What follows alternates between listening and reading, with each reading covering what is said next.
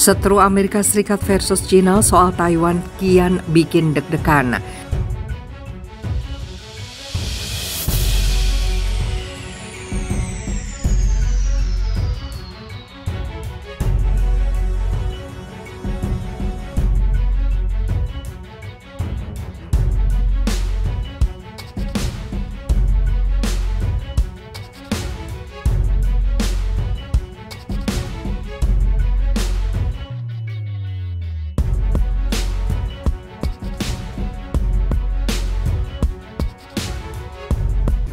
Setru Amerika Serikat versus China soal Taiwan kian bikin deg-degan.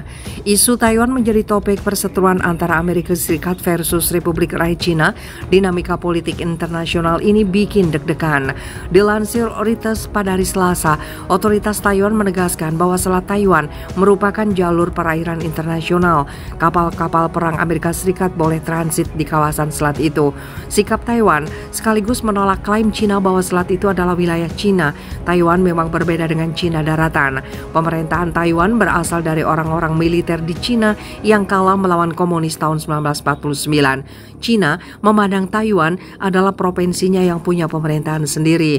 Dalam beberapa tahun terakhir, kapal-kapal perang Amerika Serikat dan terkadang kapal perang dari negara sekutu seperti Inggris dan Kanada berlayar melintasi selat Taiwan yang memicu kemarahan Cina. Amerika Serikat versus China mau perang, Presiden Amerika Serikat Joe Biden menyatakan bahwa China bermain-main dengan bahaya lewat aksi menerbangkan pesawat tempur mendekati Taiwan. Amerika Serikat bertekad melindungi Taiwan dengan kekuatan militer. Amerika Serikat kemudian mengerahkan kapal angkatan laut melalui perairan Taiwan apakah China versus Amerika Serikat berpotensi perang betulan. Dilansir BBC, pakar menilai China tidak akan merebut kembali Taiwan secara paksa. Di sisi lain, Taiwan juga telah meningkatkan pertahanan udara dan lautnya secara signifikan. Beijing juga sadar bahwa invasi ke Taiwan akan makan biaya mahal. Ada banyak retorika tetapi China harus hati-hati jika mereka ingin meluncurkan invasi ke Taiwan. Apalagi ini berdekatan dengan krisis Ukraina, kata William Chong, rekan senior senior di Institut Studi Asia Tenggara. Ekonomi Cina jauh lebih terhubung dengan ekonomi global daripada Rusia. Menteri Pertahanan Cina, Jenderal Wei Fenghe, menuding Amerika Serikat mendukung kemerdekaan Taiwan. Amerika Serikat dinilainya telah ikut campur urusan Cina. Izinkan saya memperjelas ini. Jika ada yang berani memisahkan Taiwan dari Cina, kami tidak akan ragu untuk melawan. Tegas Wei dalam pertemuan puncak sektor keamanan Asia yang diadakan di Singapura. Kami akan berjuang dengan dengan segala cara dan kami akan berjuang sampai akhir. Ini adalah salah satunya pilihan bagi Cina. Namun untungnya sikap yang ditempuh secara konsisten oleh Cina selama ini adalah penyatuan kembali secara damai dengan Taiwan yang ditegaskan kembali oleh Wei dalam pertemuan di Singapura.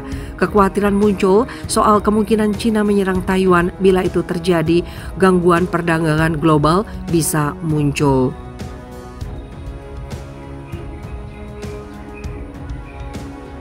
Efek bisa lebih besar ketimbang Rusia versus Ukraina. Dilansir Deutsche dunia bergantung pada Taiwan soal distribusi chip semikonduktor untuk ponsel dan kendaraan listrik. Skala gangguannya bisa lebih buruk ketimbang gangguan akibat perang Rusia versus Ukraina. Gangguan terhadap rantai pasukan internasional, gangguan pada tataran ekonomi internasional dan kesempatan untuk tumbuh akan jauh jauh lebih signifikan daripada yang ini perang Ukraina, kata kepala negosiator perdagangan Taiwan John Deng kepada Reuters dalam sebuah wawancara di sela-sela pertemuan tingkat menteri Organisasi Perdagangan Dunia di Jenewa, Swiss. Akan ada kekurangan pasokan di seluruh dunia. Taiwan mendominasi pasar global untuk produksi chip paling canggih dan ekspornya bernilai 118 miliar dolar Amerika atau sekitar 1.742 triliun rupiah pada tahun 2021. Deng mengatakan dia berharap dapat mengurangi 40 persen bagian dari ekspornya ke Cina. Meski ada ketegangan, Taiwan menyatakan tidak akan menutup pintu untuk Cina namun ada syaratnya.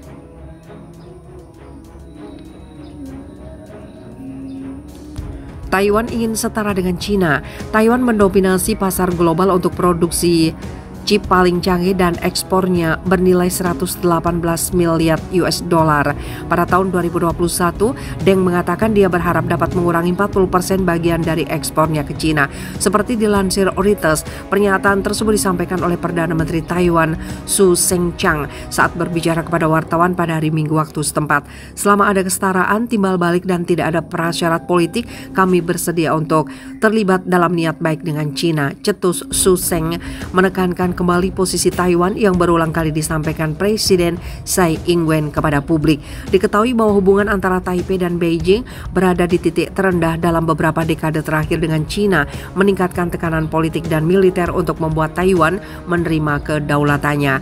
Adapun pelecehan China terhadap Taiwan dengan pesawat militer, kapal perang, penindasan dan tindakan politik yang tidak masuk akal, pihak yang paling tidak masuk akal adalah China, sebut Suseng dalam pernyataannya. Taiwan tidak ingin menutup pintu untuk China, China yang telah menggunakan berbagai cara untuk menindas dan memperlakukan Taiwan secara tidak beralasan. Isu Taiwan menjadi topik perseteruan antara Amerika Serikat versus Republik Rakyat Cina. Dinamika politik internasional ini bikin deg-degan.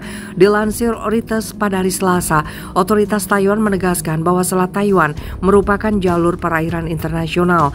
Kapal-kapal perang Amerika Serikat boleh transit di kawasan selat itu. Sikap Taiwan sekaligus menolak klaim Cina bahwa selat itu adalah wilayah Cina. Taiwan memang berbeda dengan Cina daratan.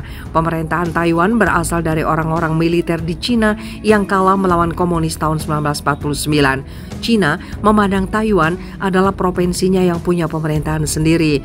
Dalam beberapa tahun terakhir, kapal-kapal perang Amerika Serikat dan terkadang kapal perang dari negara sekutu seperti Inggris dan Kanada berlayar melintasi selat Taiwan yang memicu kemarahan Cina. Amerika Serikat versus China mau perang, Presiden Amerika Serikat Joe Biden menyatakan bahwa China bermain-main dengan bahaya lewat aksi menerbangkan pesawat tempur mendekati Taiwan. Amerika Serikat bertekad melindungi Taiwan dengan kekuatan militer. Amerika Serikat kemudian mengerahkan kapal angkatan laut melalui perairan Taiwan. Apakah China versus Amerika Serikat berpotensi perang betulan? Dilansir BBC, pakar menilai China tidak akan merebut kembali Taiwan secara paksa. Di sisi lain, Taiwan juga telah meningkatkan pertahanan udara dan lautnya secara signifikan. Beijing juga sadar bahwa invasi ke Taiwan akan makan biaya mahal. Ada banyak retorika tetapi China harus hati-hati jika mereka ingin meluncurkan invasi ke Taiwan. Apalagi ini berdekatan dengan krisis Ukraina, kata William Chong, rekan senior di Institut Studi Asia Tenggara. Ekonomi China jauh lebih terhubung dengan ekonomi global